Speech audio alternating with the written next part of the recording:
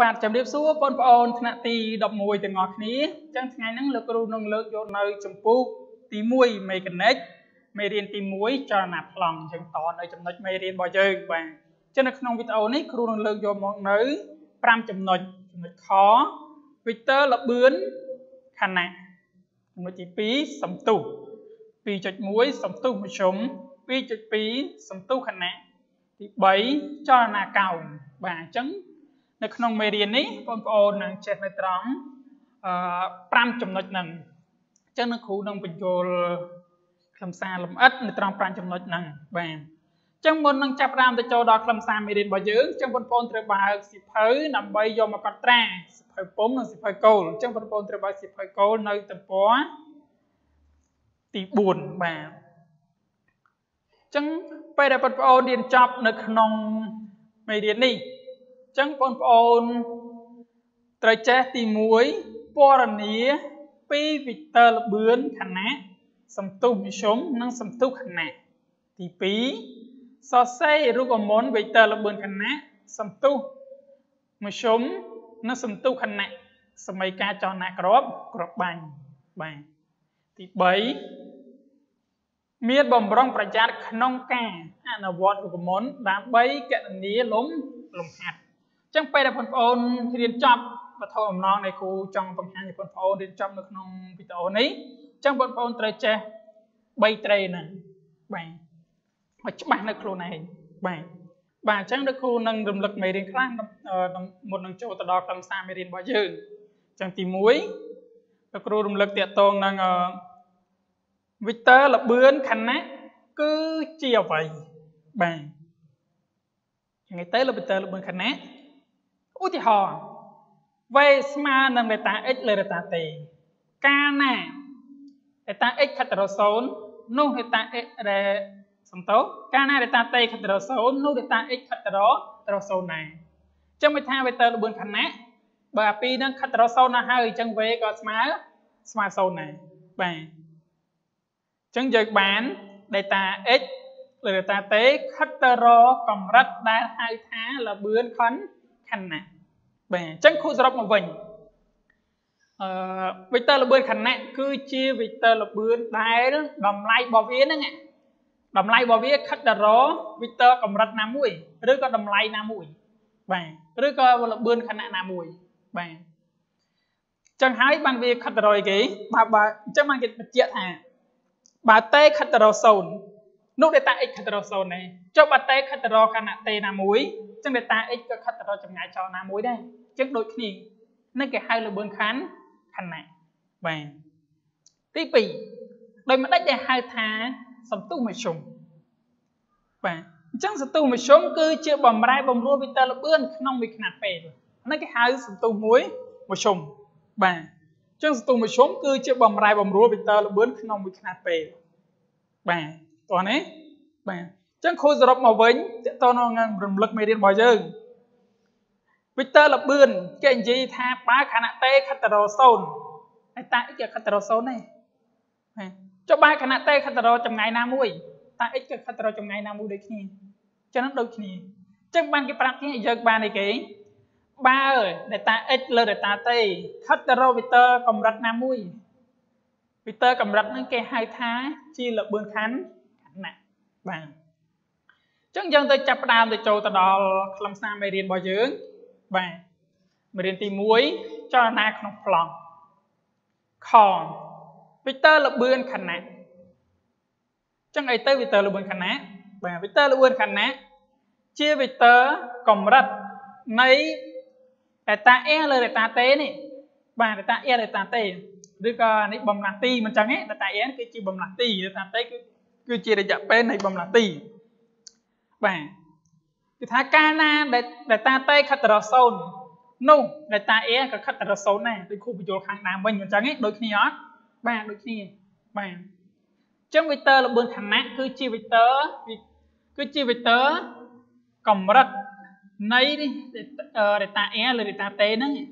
បាទចុះ data a លើ data t ឬក៏ t នៅនៅគណៈ t ណាមួយ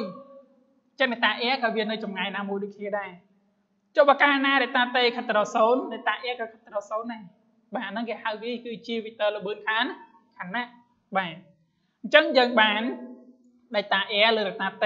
ខិតទៅរកវីទ័រកម្រិតអញ្ចឹងវីទ័រកម្រិតហ្នឹងគឺជាវីទ័រលបឿនខណៈបាទអាវីទ័រកម្រិតហ្នឹងមានន័យថាម៉េច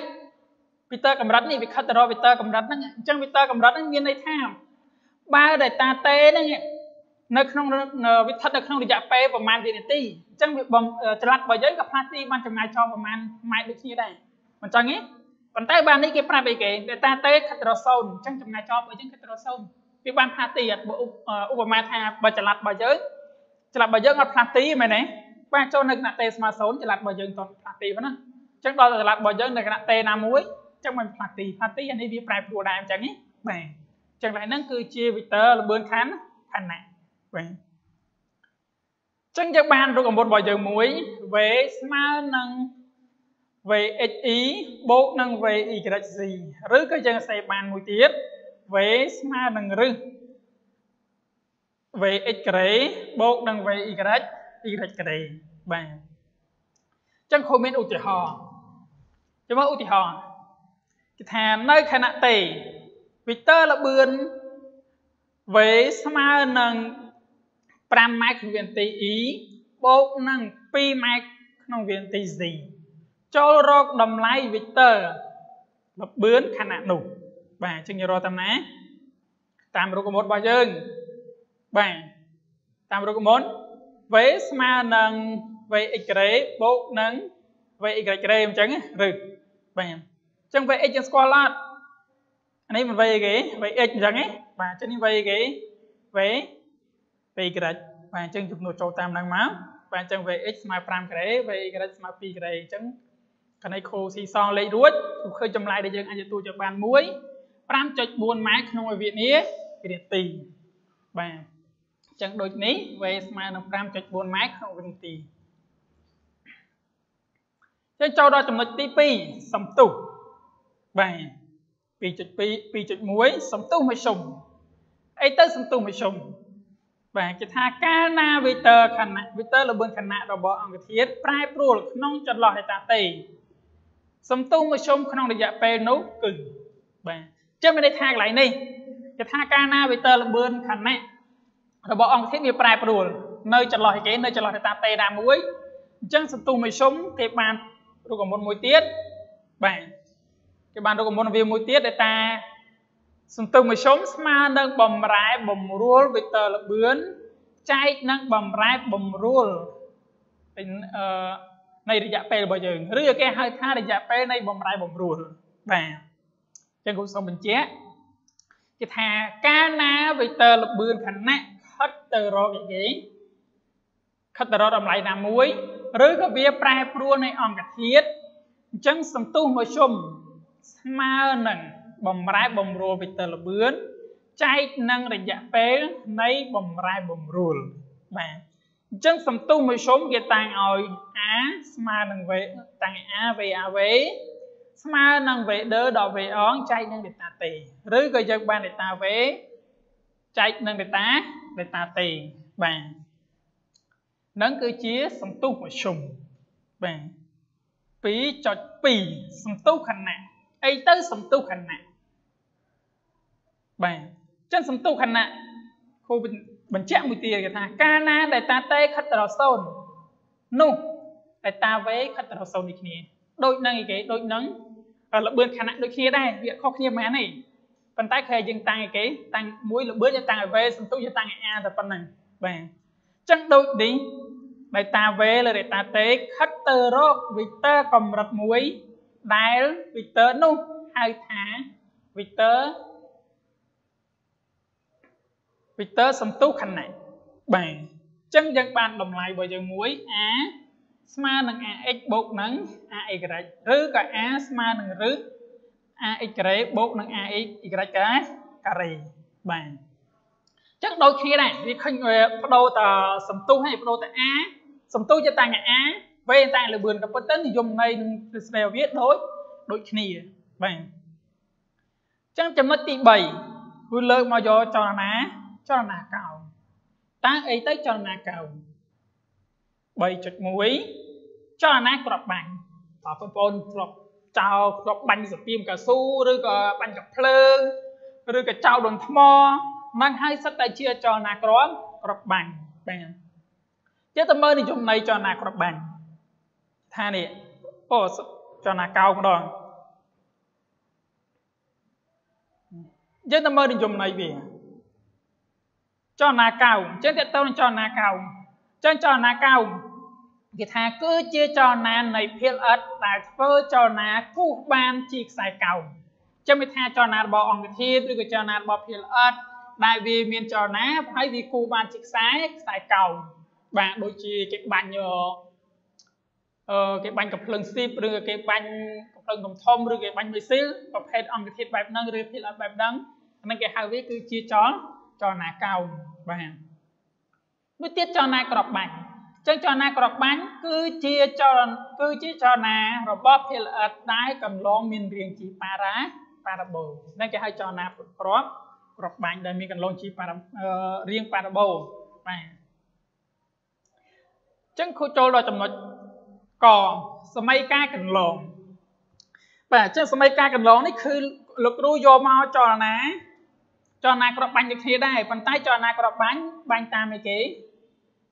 បាញ់ដែលបង្កើតបានមុំដែរដែលតារបស់យើងមួយបាទហើយគ្រូនឹងលើកយកមកមួយចំណុចមួយទៀតនៅវីដេអូក្រោយគ្រូនឹងលើកយកមកនៅអឺតកតនឹងចលនាបាញ់តាមអៈអដេកបាទបាញ់តាមអដេកហើយនៅមួយទៀតបាញ់បង្កើតដែរបង្កើតបានមុំដែរតែតាបាទអញ្ចឹងយើងមើលនៅចំណុចកសម័យកាលកន្លងយើងទៅមើលរូបសិន ចាំមើលរូបរបស់យើងអញ្ចឹងអក្សរនេះគេតាំងឲ្យ y អដេកអ x បាទឬក៏យើងហៅអដេកនេះជាអកោសអឆោគឺជាស៊ីនមិនចឹងទេបាទ v v0y និង v0x x មិនចឹងទេបាទយើងមើលនិយមន័យគេថាតាមអ o y តាមអ o y សំទុះ a y ស្មើនឹងដដក c បាទសំទុះ a y ស្មើនឹងដក c គេថាចលនារបស់វាដកសេនេះចលនាវាជាចលនាទម្លាក់សេរីមិនចឹងទេចុះយើងមិនបាញ់ទៅលើមិនបាញ់ទៅលើវាមិនធ្លាក់មកវិញមិនចឹងទេបាញ់ទៅលើមិនស្របវាឲ្យវាមិនធ្លាក់មកវិញវាដកអីគេសន្ទុះវាមិនធ្លាក់មកវិញមិនដកដកសេគេឲ្យចលនាបែបហ្នឹងគឺជាចលនាទម្លាក់ទម្លាក់សេរីបាទមួយចំណុចមួយទៀតតាម AO OX តាម AOX AOX នោះ x ស្មើនឹង0ថាចលនាវាជាចលនាត្រង់ស្មើបាទតាម OX នេះយើងមើលមើលនេះជាចលនាត្រង់ស្មើអញ្ចឹងគឺថាចលនាវាចលនាត្រង់ស្មើអញ្ចឹងអឺសន្ទុះ x ស្មើនឹង0បាទចឹងគ្រូនឹងបញ្ជាក់នៅយើងមើលគ្រូនឹងបញ្ជាក់ថាអឺនៅខណៈតេស្មើ0 ចឹងនៅខណៈតេស្មើ0គឺថាក្របបាញ់ចាប់ផ្ដើមចេញពីគល់អូអញ្ចឹងថាក្របបាញ់ចាប់ផ្ដើមចេញពីគល់អូអឺ vector អីគេចម្ងាយ x0 ស្មើ0ចម្ងាយ y0 ស្មើ0ដោយ v ដោយលបឿន v0 អញ្ចឹងណាបាទដោយលបឿន v0 របស់យើងនេះបាទអានោះនៅគណៈតេស្មើ0នៅគណៈតេស្មើ0វាចាប់ផ្ដើមបាញ់ចេញនៅវាមិនតន់ចេញតែនៅនៅគណៈតេស្មើ0វាទង់ចាប់ផ្ដើមចេញ បាទប៉ុន្តែដល់វានៅគណៈតេស្មើប្រហែលវិនាទីបានវាចេញផុតពីពីគុលអូអញ្ចឹងណាបាទអញ្ចឹងយើងបានយើងមើលតាមតំណងត្រីកោណយើងមើលត្រីកោណរបស់យើងត្រីកោណរបស់យើងយើងមើលតាមតំណែងតំណងត្រីកោណរូបរបស់យើងនឹងបានទៅរូបត្រីកោណមួយអញ្ចឹងណាបាទចុះយើងមើលកោហាក់ដេកមិនកោអញ្ចឹងណាកោ data អញ្ចឹងវាបាញ់បានមួយកោ data มันស្មើនឹងអឺ v 0x ចែកនឹង v v0 មានត្រីកោណរបស់យើងប៉ុណ្ណឹងអញ្ចឹងណាបាទនឹង sin អក្សរ sin sin data ស្មើនឹង v0y ចែកនឹង v v0 បាទឬក៏យើងសរសេរបានអីគេ vx0 ស្មើនឹង v0 កូដេតាឬក៏ vy v0y ស្មើនឹង v0 sin eta មកចឹងឯងបាទហើយយើងមើលសម័យការត្រង់អីគេ ថាតាម OX ចលនាក្របបាញ់វាមានចលនាអីគេចលនាត្រង់ត្រង់ស្មើបាទអញ្ចឹងត្រង់ស្មើយើងបានចម្ងាយចរបស់យើងនេះមួយ x ស្មើនឹង vx គុណទេបាទចុះណាតាមអីគេ O OX របស់យើងអញ្ចឹងយើងបានចំណាយចោលរបស់យើង x ស្មើនឹង v vx គុណនឹង t ឬក៏ vx នឹងស្មើនឹងគេស្មើនឹង v v0 x មិនចឹងទេគុណនឹង t ហើយ v0 x របស់យើងឃើញមែននេះ v0 x v0 x យើងមិនបានអីគេយើងបាន v0 កោតែតា t មិនចឹងទេបាទ t របស់យើង t ណាដែរបាទឬក៏គ្រូទាញដល់ t ស្មើនឹង x ចែកនឹង v0 កោតែតាអញ្ចឹងគ្រូចាប់ចងនេះជាសមីការមួយបាទមួយទៀតជិះមើលតាមអ OY ក្របបាញ់ ធ្វើចលនាទម្លាក់សេរីមិនចឹងទេបាទអញ្ចឹងតាមអ OH ចលនាធ្វើចលនាទម្លាក់សេរីតាម OY របស់យើងនេះអញ្ចឹងគេបានសមីការ Y1 ស្មើនឹង V0 YT បូកនឹង1លើ2 A AY គុណនឹងគុណនឹងអីគេគុណនឹង t ការ៉េមិនចឹងទេបាទនេះគឺជាចលនាទម្លាក់សេរីបាទសម័យកាលរបស់យើង តែ AY ស្មើគេស្មើនឹងដកដក C បាទអញ្ចឹងយើងយកទំនួស AY យកមកទំនួសចូលត្រង់ហ្នឹងគេទៅមើលឃើញអ្វីកើតឡើងទៀតបាទអញ្ចឹងមើលអញ្ចឹងយើងទំនួសចូលទៅយើងបាន y ស្មើនឹង v V0 sin delta t ដកនឹង1លើ2 zt zt ក្រេនេះគឺជាសមីការទីទី2បាទអា ហ្នឹងមានន័យថាកន្លែងនេះគ្រូយកប៉ុណ្ណឹងយកមកចំនួនចូលត្រង់នេះអញ្ចឹងជាបានមិនអីគេហើយមិន v គេ v0 y មិនស្មើគេមិនស្មើ v0 sin delta អញ្ចឹងទេទេរបស់យើងដែរអញ្ចឹងមកគ្រូចំនួនចូលបានត្រង់ត្រង់ចំណុចនេះបាទមិនអញ្ចឹងទេនេះចានេះមិន v0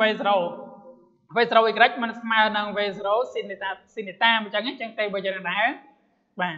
មើលតនេះត្រង់ចំណុចហ្នឹងអញ្ចឹងនេះក៏ដាក់ជាសមីការទីទី2 គ្រូយកចំនួនសមីការទី1និងសមីការទី2យកមកចំនួនចូលគ្នាយើងមើលទាំងអស់គ្នាបាទអញ្ចឹងកាលនេះគ្រូចំនួនចូលសមីការទីសមីការរបស់យើងយើងមើលអានេះមានអីគេ V V0 sin theta នៅអដែរអញ្ចឹងឯងចឹង x អសំតោតេតេយើងមិនស្មើ x ចែកនឹង v0 កូដ delta អញ្ចឹងណា បាទអញ្ចឹងដកដកដូចដដែល1លើ2 1លើ2ដដែលសេរបស់យើងសេដដែលអញ្ចឹងតេតេរបស់យើងមិនស្មើ x លើ v0 កូដកូដ delta អញ្ចឹងការ៉េរបស់យើងបាទតោះនេះត្រង់ចំណុចហ្នឹងបាទអញ្ចឹងស៊ីនចែកកូស៊ីនចែកកូមិនបានតង់បាទអញ្ចឹង v0 v0 យើងមិនអស់តោះនេះត្រង់ចំណុចនេះ v0 v0 អស់ហើយបាទអញ្ចឹងសិនចែកកោបានតង់មិនអញ្ចឹងទេបាទអញ្ចឹង x របស់យើងនៅនៅដដែល x អញ្ចឹងដកដកអីគេ ដក1លើ2អញ្ចឹងនេះគ្រូបំបែកដល់នេះគ្រូបោះអីគេគ្រូបោះសេសេទៅលើគ្រូនេះបានសេសេរបស់យើងនៅដែរមិនអញ្ចឹងទេបាទអញ្ចឹង x របស់យើងនៅការ៉េអញ្ចឹងទេ x របស់យើងនៅការ៉េបាទអញ្ចឹង v របស់យើងក៏នៅការ៉េដែរបាទកុសរបស់យើងក៏ការ៉េដែរឃើញកន្លែងហ្នឹងទេតិចបងប្អូនមើលកន្លែងនេះត្រង់នេះអត់ទាន់បាទចឹងយើងបានសម័យកាលរបស់យើងមួយចឹងដូចនេះ y ស្មើនឹងតង់ delta ដកនឹង z 2 v 0ការ៉េកូសការ៉េ delta គុណនឹង x ការ៉េបាទអញ្ចឹងសម័យកាលនេះគេហៅថាជាសម័យកាលចលនាក្របបាញ់អញ្ចឹងបងប្អូនត្រូវចាំនេះគឺជាសម័យកាលចលនាក្របបាញ់របស់យើង y ស្មើនឹង x តង់ delta ដកនឹង z 2ចែកនឹង v 0ការ៉េកូសការ៉េ